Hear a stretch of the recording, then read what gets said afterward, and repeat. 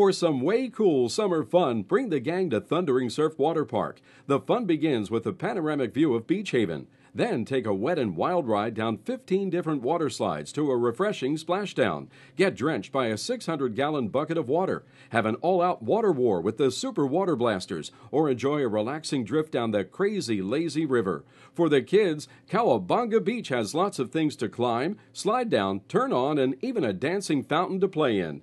Thundering Surf Water Park in Beach Haven.